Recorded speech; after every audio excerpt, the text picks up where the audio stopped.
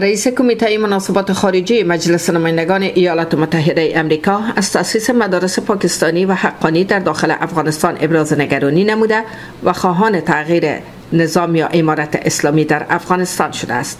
این کنگرسمن برجسته و با نفوذ ایالات متحده امریکا همچنان از وضعیت رقت آور زنان و دختران افغانستان ابراز نگرانی نمود و وعده داد که با سایر همکارانش در نجات زنان و دختران افغان سعی و تلاش خود را دریغ ننمایند. مکال رئیس جمهوری خواهی کمیته روابط خارجی مجلس نمایندگان ایالات متحده امریکا این سخنان را در زیافت مجلل که از طرف سفیر پاکستان در مقر سفارت پاکستان در واشنگتن تدویر یافته بود در پاسخ به سوالات من ابراز نمود.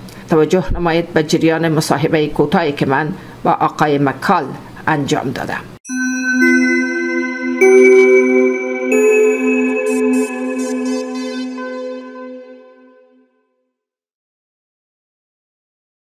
روز پنجشنبه 20 جولای سفیر پاکستان مسعود خان میزبان یک تعداد از ژورنالیستان و سایر مهمان بود.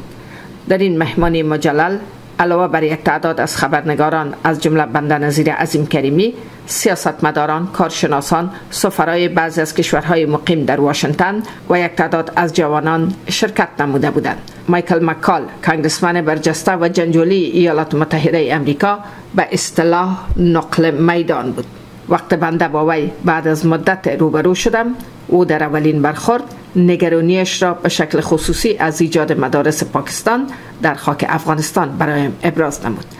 من هم نگرانی های مردم افغانستان را از ناحیه استخدام استادان پاکستانی در دانشگاه ها و پانتون های افغانستان با وی شریک ساخته متعاقبا برایش تصویر واضح از چالش های افغانستان به خصوص وضعیت زنان افغان و دختران که تا کنون در زندان های خانگی طالبان به سر می‌برند ارائه نموده.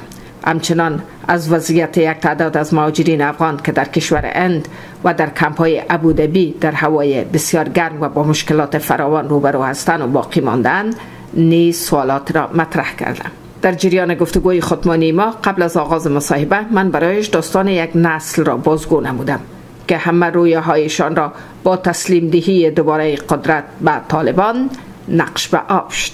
از آقای مکال خواهش نمودم تا اگر امکان داشته باشد مصاحبه کوتاهی را در مقر سفارت با من انجام بدهد. آقای مکال با جبین گشاده خواهشم را پذیرفت و مصاحبه کوتاهی را در مورد اوضاع افغانستان با من انجام داد. که من از وی سپاسگزاری می نمایم اولین سوالم را در مورد وضعیت فلاکتبار زنان و دختران افغان که در آخرین اقدام طالبان از شرکت در امتحان کانکور نیز محروم شده اند مطرح کردم. رئیس کمیته مناسبات خارجی مجلس نمایندگان در پاسخ گفت It's, um, I mean, it, I, every day I think about the women left behind in Afghanistan.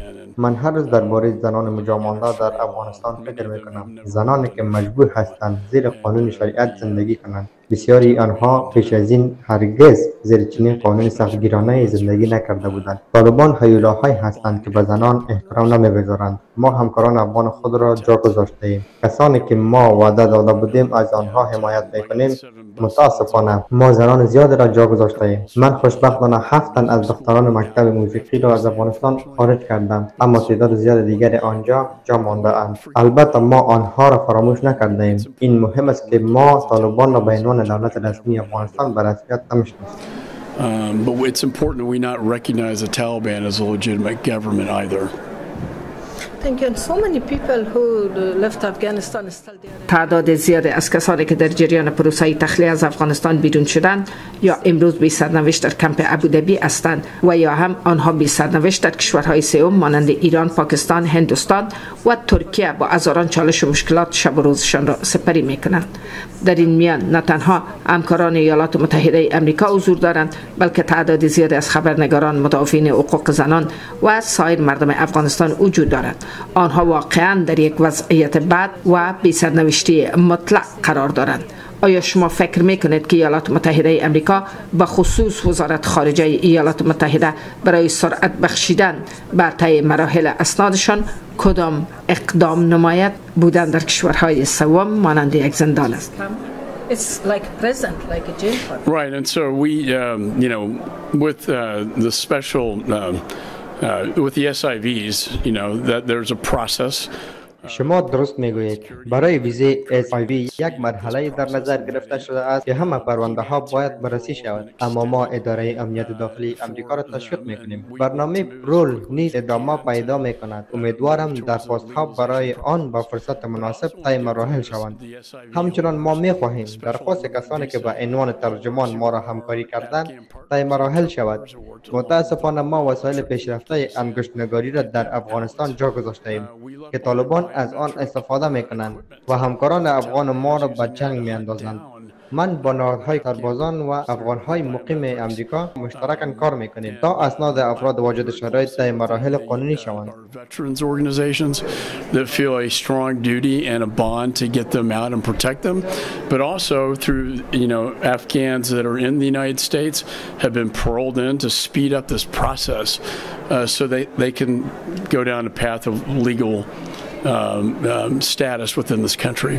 Sir Congressman, as long as United States send every week 40 آقای کنگرسمن قسم که می‌دانید ایالات متحده امریکا هر هفته چهل میلیون دلار پول تحت عنوان کمک های بشری به افغانستان میفرستد این چی را میرساند به نظر من باید ایالات متحده امریکا بالای طالبان نفوذ داشته باشد و نگذارد که آنها هر روز محدودیت را بالای زنان و دختران و در کل مردم افغانستان وضع کنند do something for women. uh, day by day, 100%. their restrictions get increased. So when I talked to um, the director of USAID, Samantha Powers, I told her just that that we should not be giving کاملا موافق هستم. من به خانم سمنتا پاور رئیس USAID گفتم که ما نباید به نهادهای کمک کنیم که زنان اجازه کار در آن نهادها را ندارند. این مهم است که ما به افغانستان کمک کنیم اما همچنان روی طالبان فشار وارد کنیم که به آنها بگوییم که اگر رفتار خود را تغییر نمی‌دهند ما کمک های خود را ادامه نمی‌دهیم. زنان افغان در جامعه باید آزادی داشته باشند و بتوانند آزادانه گشت و گذار کنند و درس بخوانند مثل زمان پیش از آمدن طالبان.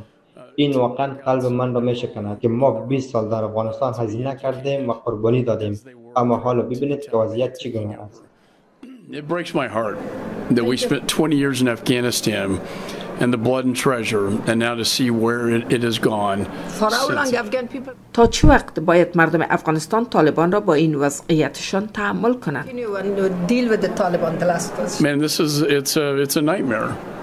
It's an absolute nightmare, and they don't represent the will of the majority of people in Afghanistan. You know, and so we're always looking for. این ways- واقعا یک کابوس است طالبان از اکثریت مردم افغانستان نمایندگی نمی کنند متاسفانه دولت فعلی امریکا وضعیت را بسیار بد مدیریت کرد من خودم تحقیقات را در این باره آغاز کرده ام اگر نظر خود را درباره زنان تغییر ندهند این کمک ها ادامه نمییابد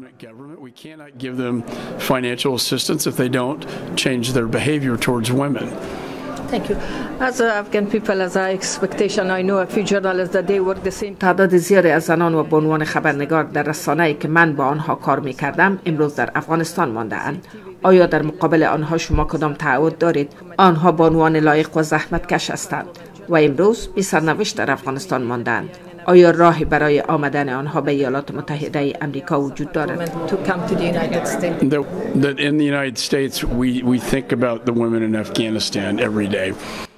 در امریکا هر روز درباره زنان افغانستان فکر می‌کنیم ما صدای شما را میشنویم و می‌خواهیم از افغانستان خارج شوید ما همچنان می‌خواهیم حکومتی که آنجاست تغییر کند Get you out.